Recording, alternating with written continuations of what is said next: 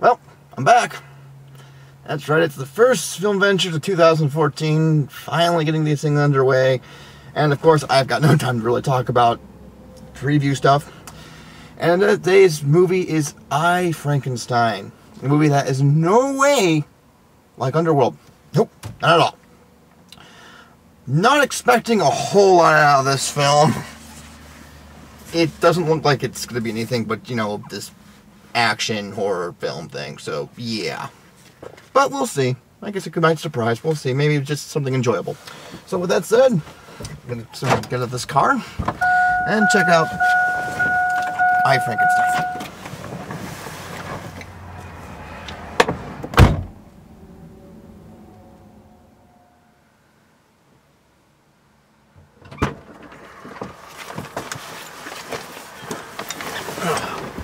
Oh, okay, sorry. It's very cold outside. Alright, so I'm back from I Frankenstein. A movie that looks a lot like Underworld. From the producers of Underworld, obviously. And, you know, it shows.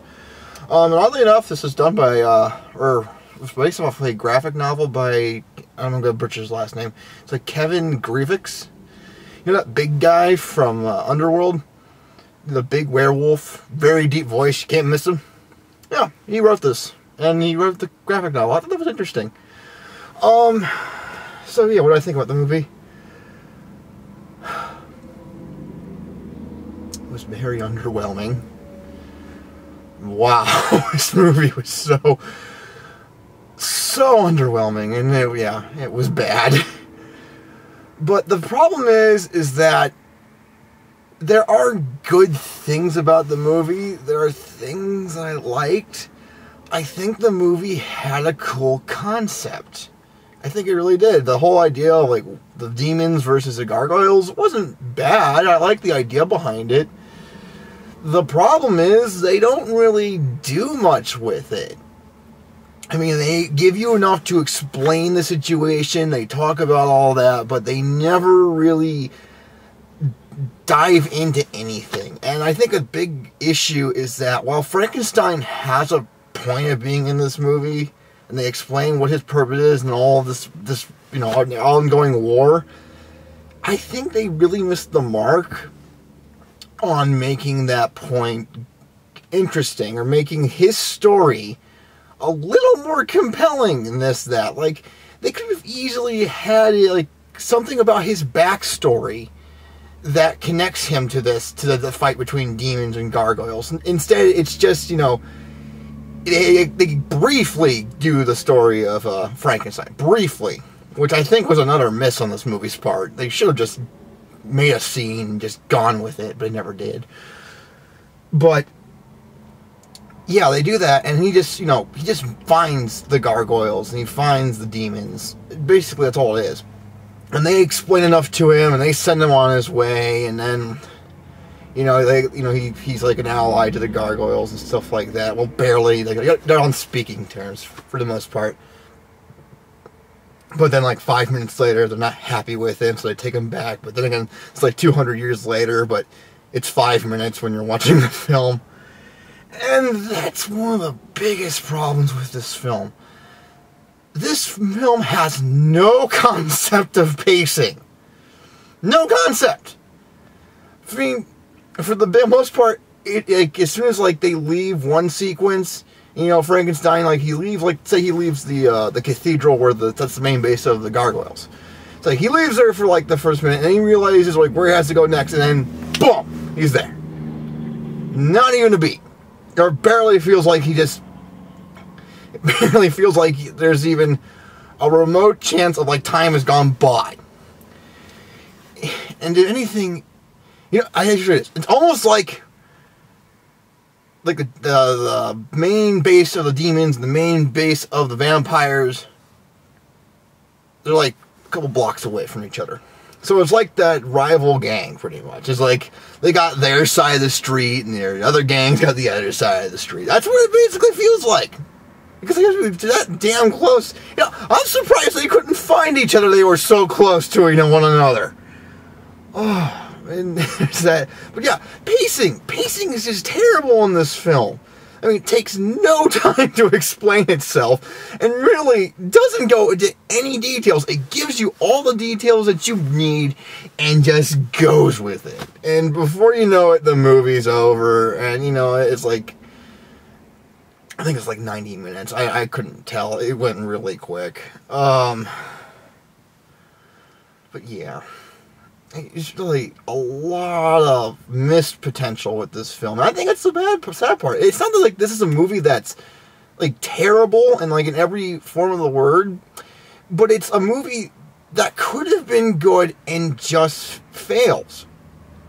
Um, you know the sad part is is that the cast is actually not that bad. I actually liked Aaron Eckhart, Eckhart, sorry, as Frankenstein or Adam. Um, obviously not your normal interpretation of the character, but you know, I'm okay with that. Um, actually, I wouldn't mind him acting a little more zombie-like and say like a backstory or a prologue. Of course, that never happens. But, you know, the transition between him actually speaking and, you know, being more human, may, I felt makes a little sense if they just explained it and they don't. But you know, I didn't hate Aaron Eckhart, Eckhart at this in this movie. I didn't hate Bill Nighy in this film. I, I never can. I thought the cast was actually pretty good. I just wish there was a little bit more of them. I wish we got to know some of these characters. And it felt like the development, aside from Frankenstein, who's just pretty straightforward, everybody else was just sporadic. Most notably the gargoyles the gargoyles were like, oh, you know, we, we trust Frankenstein, but we know we have our orders and blah, blah, blah. And like five minutes later, they're like, oh, we now have to imprison Frankenstein because we don't need him to, like, to reveal our secrets and whatnot. And then pretty soon after that, like eventually later, like, oh, we have to kill him to protect him, or or after they get talk, they finish talking with, and they say they'll protect him, and then they go off and say, oh, we're gonna go kill him. So like now they're enemies, and like obviously it's understandable because they're just trying to protect the order of the gargoyles, make sure the secret doesn't get out and all that, and doing whatever it takes to get the mission taken care of. I get that. But I just wish the pacing was better or just there was some idea of development and tension between the likes of Frankenstein and the gargoyles. But there isn't. And you know, the demons, they're just evil. Simple as that. Um, you know, Bill Nighy does his best as he can oddly enough, there's some points where I felt he was very subtle, which is weird for him. Obviously, he brings his certain acting style to it, which is expected.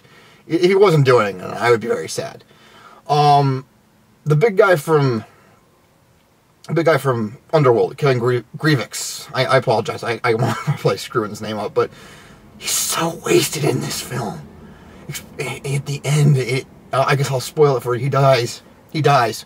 And you would think, oh, you know, being this big guy, you know, seeing him in Underworld, he's playing a different character, you'd think he'd, you know, do something. No, instead, he just dies in the first chance he transforms to his demon form. So wasted. Uh, um, I guess the other big supporting character is, uh, oh, how do you say her name? It's like Yvonne Strahovski? She's Australian. Tries having a very Russian sounding name. I think. I'm sure not. The, the girl from Chuck. I mean, she was okay. You know, she was a scientist character, and that's about it. So, yeah. Do I recommend I Frankenstein? No, not really. I mean, if anything, I'm glad it doesn't feel like a complete underworld ripoff. It, there's something that was there that could have been different, a little compelling. Maybe it wouldn't, it wouldn't have been the greatest film in the world, but it would have been enjoyable.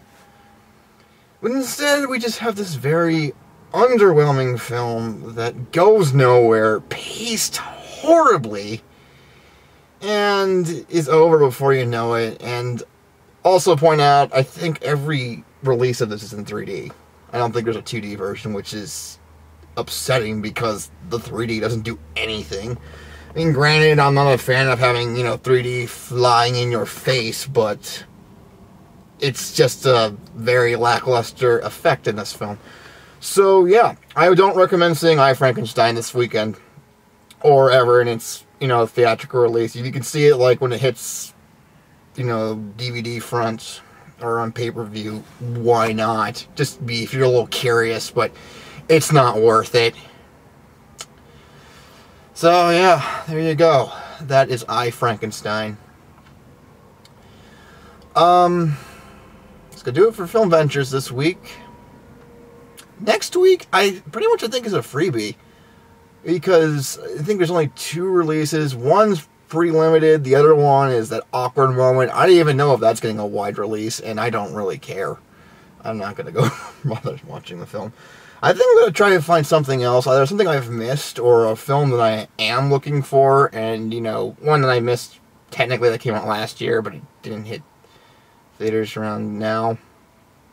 Um, but I need to be sure I can find it first, and then if I can, I will go see it, and will, I will tell you about that, or you'll be here with me because we're gonna have a film venture on it. So that's all I've got. Once again, don't go see I Frankenstein this weekend. Go watch something else.